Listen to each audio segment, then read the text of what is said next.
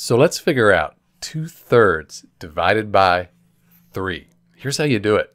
So 2 thirds, that's less than 1. So we're trying to see how many times 3 goes into a number that's less than 1. So we should end up with a pretty small number. And the way to do this is instead of 3, let's call this 3 over 1. Because 3 divided by 1, it's still 3, but now everything's kind of lined up. Next, when we're dividing fractions like this, we can take the 2 thirds here, and instead of division, we can multiply.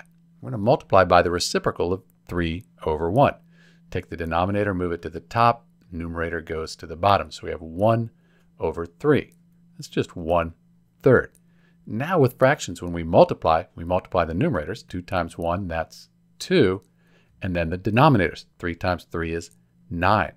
So in answer to our question, 2 thirds divided by 3, or you could say 2 thirds times 1 third, you end up with 2 ninths. That's it. This is Dr. B. Thanks for watching.